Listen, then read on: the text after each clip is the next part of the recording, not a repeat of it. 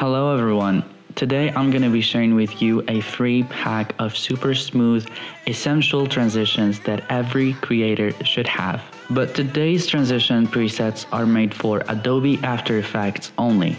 So the free download link is in the video description. And as always, I'm going to be showing you how to apply them in a minute.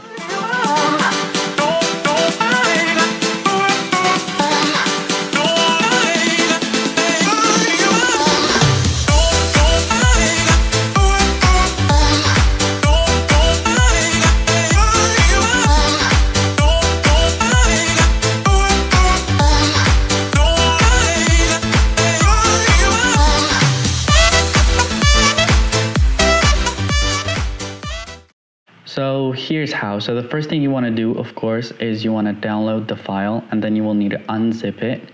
And then you go to Adobe After Effects, you go to the project area over here, you right click, and then you look for the file where the transitions are located.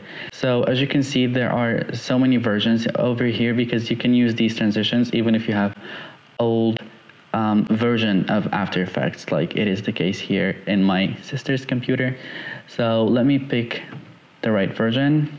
So here are the transitions. You open up this file, and there's five kinds of movements, uh, five kinds of transitions.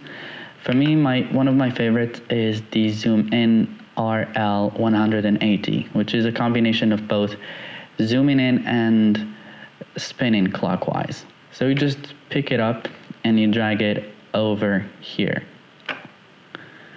So let me zoom in a little bit. As you can see, there's a little arrow in here and you want to make sure that this arrow is aligned with the, the beginning of the second clip, as you can see over here you just make sure that it is aligned and there should be no problem. And you also make sure you check this box over here. So yeah, everything should work perfectly. Let's see it. So yeah, it's a little bit slow because it needs to render it, but as you can see, it is very simple and easy to use.